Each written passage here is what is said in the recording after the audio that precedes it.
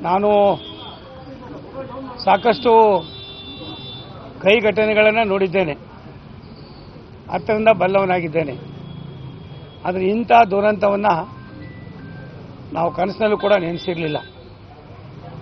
ಒಬ್ಬ ಕ್ರಿಯಾ- ಕ್ರಿಯಾಶೀಲ ವ್ಯಕ್ತಿಯಾದವನು ತಮ್ಮ ಮಕ್ಕಳನ್ನು ಯಾವ ರೀತಿ ಬೆಳೆಸಬೇಕು ಅನ್ನೋದ್ರ ಜೊತೆಯಲ್ಲಿ ಇನ್ನೊಂದು ಕುಟುಂಬವು ಇದಕ್ಕಿಂತ ವಿಭಿನ್ನವಾಗಿ ಸಾರ್ವಜನಿಕರ ಸೇವೆಯಲ್ಲಿ ತೊಡಗಿಸಿಕೊಂಡಿರ್ತಕ್ಕಂಥ ಎರಡು ಕುಟುಂಬಗಳು ಕೂಡ ಇಂಥ ಅನಿರೀಕ್ಷಿತ ಘಟನೆಯಿಂದ ಸಾಕಷ್ಟು ನೋವನ್ನು ಅನುಭವಿಸಬೇಕಾಗಿದೆ. ಇಂಥ ನೋವನ್ನು ಅನುಭವಿಸುವ ಸಂದರ್ಭದಲ್ಲಿ ಭಗವಂತ ಯಾಕೆ ಒಂದೊಂದು ಸಾರಿ ಒಳ್ಳೆಯವರಿಗೆ ಈ ಪರೀಕ್ಷೆ ಕೊಡ್ತಾನೋ ಗೊತ್ತಿಲ್ಲ. ಕಾಡುಮಲ್ಲೇಶ್ವರನ ದೇವಸ್ಥಾನ ರಾಷ್ಟ್ರಕ್ಕೆ ಸಮರ್ಪಣೆ ಮಾಡುವ ಸಂದರ್ಭದಲ್ಲಿ ಬಿ ಕೆ ಶಿವರಾಮ್ ಅವರು, ಬಿ ಕೆ ಹರಿಪ್ರಸಾದ್ ಅವರ ಕೊಡುಗೆ ಸಾಕಷ್ಟಿದೆ. ರಾಷ್ಟ್ರದ, ರಾಜ್ಯದ ವ್ಯವಸ್ಥೆಗಳಲ್ಲಿ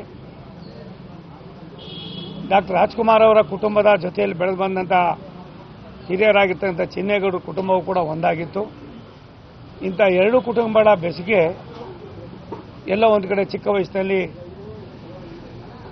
ತೊಂದರೆ ಆಗಿರ್ತಕ್ಕಂಥದ್ದು ನೋವನ್ನು ಉಂಟು ಮಾಡಿದೆ. ಪ್ರಕೃತಿ ಯಾರಿಗೂ ಕೂಡ ವರ್ತಲ್ಲ ಅನ್ನೋದಕ್ಕೆ ಈ ಸಾವಿನಿಂದ ನಾವು ಅರ್ಥಕೋಬೇಕಾಗಿದೆ ಮನುಷ್ಯನಿಗೆ ಯಾವುದು ಶಾಶ್ವತ ಅಲ್ಲ.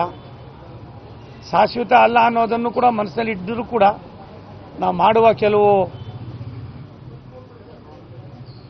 ನಡವಳಿಕೆಗಳು, ಬದಲಾವಣೆ ಮಾಡ್ಕೊಳ್ಳೋದಕ್ಕೆ ಈ ಹೆಣ್ಮಗಳು ಒಂದು ದೊಡ್ಡ ಉದಾಹರಣೆ ಆಗಲಿ ಅನ್ನೋದು ನನ್ನ ವೈಯಕ್ತಿಕವಾದ ಅನುಭವದ ಮಾತು.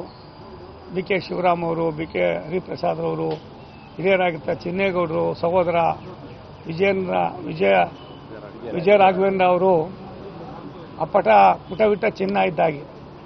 ಅಂಥವ್ರಿಗೆ ಆಗಿರ್ತಕ್ಕಂಥ ನೋವನ್ನು ಭಗವಂತ ಕರ್ಕೊಳ್ಳೋದಕ್ಕೆ ಅವರಿಗೆ ಶಕ್ತಿ ಕೊಡಲಿ.